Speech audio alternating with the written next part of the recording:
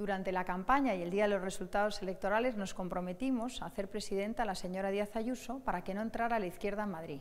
Eso será dentro de una semana, el día 16. Mientras tanto, mañana, el día 8, tenemos que constituir la mesa de la Asamblea. Y para esto hace falta un acuerdo del Partido Popular y de Vox. Ellos, a cambio de nuestros votos, nos han ofrecido distintos puestos. Nosotros preferimos, en vez de los puestos, que se reduzca a la mitad el número de diputados de la Asamblea de Madrid.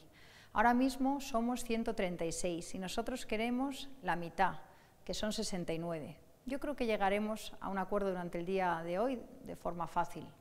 Os lo dijimos y lo cumpliremos. Nosotros estamos aquí para buscar el bienestar de los madrileños y no el bienestar de los políticos.